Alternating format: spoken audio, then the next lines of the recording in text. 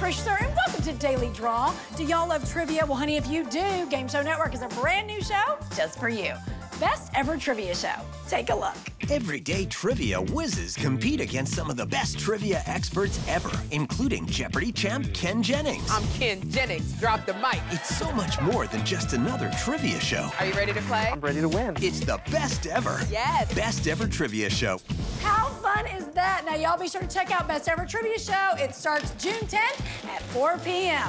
Now, I'm spinning to see who's winning. Is your name in the game? Oh, honey, I hope it is. And if it's not, y'all go to GameShowNetwork.com for all the information.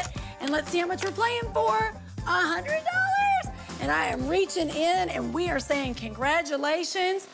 Hey, Karen W. from East Wenatchee, East Wenatchee, Washington. Honey, you just won $100. Now, I'll see y'all tomorrow.